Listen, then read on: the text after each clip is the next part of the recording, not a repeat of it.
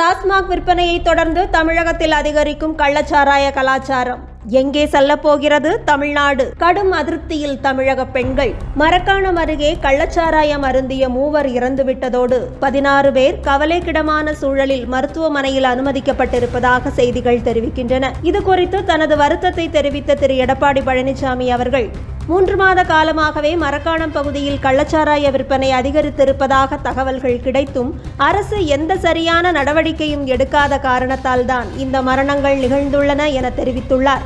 அதிமுக ஆட்சியில் கள்ளச்சாராயம் என்பதே அடியோடு ஒழிக்கப்படும் நிலைக்கு நடவடிக்கைகள் எடுக்கப்பட்ட சூழலில் தற்போதைய ஆட்சியில் மீண்டும் கள்ளச்சாராய புழக்கம் அதிகரித்திருப்பதாகவும் அந்த மூன்று மரணங்களுக்கும் ஆளும் அரசே பொறுப்பு ஏற்று கள்ளச்சாராயத்தை ஒழிக்க நடவடிக்கை எடுக்க வேண்டும் எனவும் கூறியிருக்கிறார். தமிழ்நாட்டில் டாஸ்மாக் விற்பனை ஒருபுறம் அதிகரித்துக் கொண்டே இருக்க. மது வகைகளின் விலை உயர்வு கள்ளச்சாராயத்தை நாடுவதற்கு தூண்டுகிறதா? அல்லது சமூக விரோத சக்திகளின் ஆதிக்கம் அதிகமாவதால் கள்ளச்சாராய விற்பனை அதிகரிக்கிறதா என கண்டறிந்து யார் நடவடிக்கை எடுக்க வேண்டும் என மக்களே யோசித்து பார்க்க வேண்டும். இந்த சூழலில் ஏற்கனவே தமிழகத்தில் பள்ளி மாணவர்களிடம் கூட கஞ்சா புழக்கம் அதிகரித்து வருவதை பலமுறை பல ஊடகங்கள் சுட்டிக்காட்டியும் அதன் தீவிரம் உணரப்பட்டதாக தெரியவில்லை. மதுரை கீரைத்துறை அருகே காவல்துறையினர் வாகன சோதனையில் ஈடுபட்ட போது நாற்பது கிலோ அளவுள்ள கஞ்சாவை பறிமுதல் செய்துள்ளனர். அந்த விசாரணையின் போது சுமார் இரண்டாயிரம் கிலோவிற்கும் அதிகமான கஞ்சா மூட்டைகள் தூத்துக்குடியில் பதுக்கி வைக்கப்பட்டிருப்பதாக தெரிய வந்ததை அடுத்து அங்கு சென்று கஞ்சாவை கைப்பற்றியுள்ளனர். கடந்த பத்து நாட்களுக்குள் கஞ்சா வியாபாரத்தில் ஈடுபட்ட முப்பத்தி ஆறு பெண்கள் உட்பட ஆயிரத்தி முன்னூற்றி முப்பத்தி ஏழு பேர் கைது செய்யப்பட்டுள்ளனர்.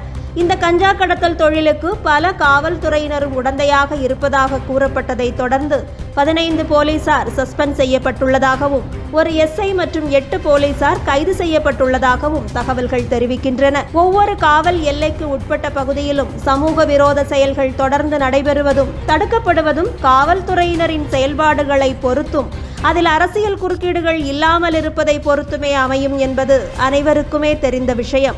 இந்த சூழ்நிலையில் சென்னையில் நடைபெற்ற மாணவர்களுக்கான மன அழுத்த மேலாண்மை நடவடிக்கைகள் குறித்த கருத்தரங்கில் பேசிய பல கல்வி நிறுவன பிரதிநிதிகளும் மாணவர்களிடையே போதை பழக்கம் அச்சுறுத்தும் விதமாக வளர்ந்து வருவதாகவும் வகுப்பறைகளில் கூட வெளிப்படையாகவே போதை வஸ்துக்களை மாணவர்கள் பயன்படுத்துவதால் இதை கட்டுப்படுத்த வழி தெரியாமல் ஆசிரியர்களும் மன அழுத்தத்திற்கு ஆளாவதாகவும் தெரிவித்துள்ளனர்.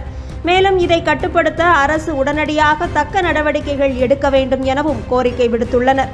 ஆளும் அரசுக்கு தற்போது அமைச்சரவையையும் அதிகாரிகளையும் மாற்றி அமைப்பதற்கும் கோவில் வருமானத்தை எப்படி வீணாக செலவிடலாம் என ஆலோசிப்பதற்குமே நேரம் சரியாக இருப்பதால் மக்கள் பிரச்சனைகளை கவனிக்க நேரம் ஒதுக்க முடியாது என்பதை முதலில் மக்கள் புரிந்து கொள்ள வேண்டும். தேசியவாதம் என்பது ஏதோ பேசவே கூடாத அடிப்படை வாதம் என்றும் தெய்வ நம்பிக்கையும் தேவையான பாரம்பரிய பழக்கங்களும் மூட நம்பிக்கைகள் என்றும் அதை போற்றுவோர் யாராக இருந்தாலும் பொதுவெளியில் மிக கேவலமான வார்த்தைகளால் விமர்சிக்கப்படுவார்கள் என்பது போன்ற சமூக பழக்கங்களை திராவிடமும் தமிழ் தேசியமும் இங்கு உருவாக்கி வருவது.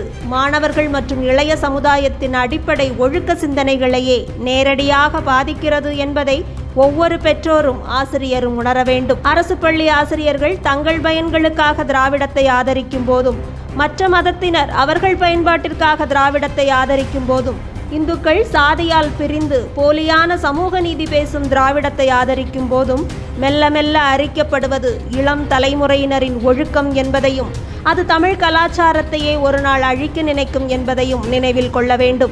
தமிழ் கலாச்சாரம் என்பதும் பாரதிய கலாச்சாரத்தின் ஒரு மிக முக்கிய அங்கம் என்பதை மக்கள் மறந்துவிடக்கூடாது என்பதே சமூக ஆர்வலர்களின் விருப்பமாக இருக்கிறது. வணக்கம்.